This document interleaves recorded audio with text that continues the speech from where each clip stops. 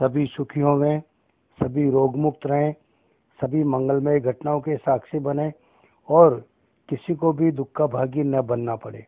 इस मंगलमय कामना के साथ मैं कृष्ण गोपाल पांडे आपका स्वागत करता हूँ। आज का विषय है सुखी बनाने वाली छह बातें। जीवन में सुख दुख आते ही रहते हैं, परंतु महात्मा विदुर ने धृतराष्ट्र को छह ऐसी बातें बताई है जिनके होने से व्यक्ति प्रसन्न और सुखी हो सकता है। इन छह बातों में से पहली है धन का आगमन। धन का आगमन व्यक्ति की अपनी और अपने परिवार की आवश्यक आवश्यकताओं के लिए अनिवार्य है। धन के अभाव में व्यक्ति असहाय अनुभव करता है, अतः सुखी जीवन के लिए धन आवश्यक है। परंतु धन प्राप्ति की होड़ में अनैतिक साधनों का आश्रय लेना शुरू कर दिया तो ऐसा धन उस व्यक्ति के मन में भय का वातावरण निर्मित कर देता है।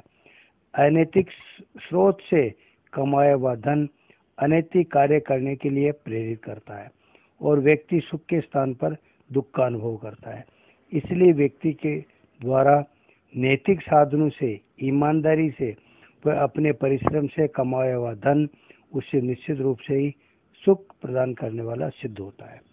दूसरी बात है निरोगी होना।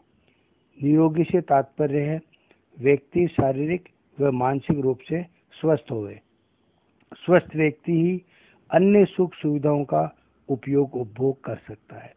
किसी के पास धन, मान सम्मान, पद प्रतिष्ठा तथा विलासिता के अन्य साधन हो, लेकिन शरीर स्वस्थ नहीं हो तो ये सब चीज़ें उसके लिए निरर्थक और अनुपयोगी हो जाती हैं। अतः निरोगी होना व्यक्ति को सुखी बनाता है। तीसरी बात है पत्नी का सुलक्षणा होना। महिला प्रत्येक परिवार की आधार होती है, नींव होती है और संचालिका होती है। उसके सदव्यवहार और सदाचरण के कारण ही परिवार सुखी, समृद्धिशाली व गौरवशाली बनता है।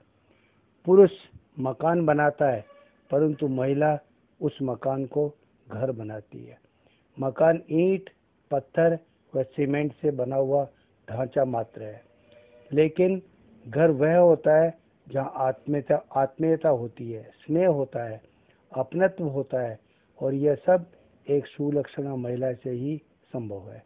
अतः कहा जा सकता है कि सुलक्षणा पत्नी का होना व्यक्ति को निश्चित रूप से ही सुखी बनाता है। चौथी बात है, प्रिय बोलने वाली पत्नी का होना। प्रिय बोलना प्रत्येक व्यक्ति का सद्गुण है। जो व्यक्ति को लोकप्रिय बनाता है, यदि पत्नी प्रिय बोलने वाली हो तो व्यक्ति की कई परेशानियाँ स्वतः ही दूर हो जाती हैं। पत्नी के प्रिय वचन पति के लिए बहुत सुखद होते हैं। उसे सुकून और मानसिक शांति देने वाले होते हैं। पत्नी की मित्रवत बातें और प्रिय बातें सुनकर पति को पहाड़ सी परेशानी भी राय के समान प्रतीत होने लगती है। अतः पत्नी का प्रिय वादिनी होना पुरुष को निश्चित रूप से ही सुखी बनाता है। पांचवी बात है, संतान का आज्ञाकारी होना।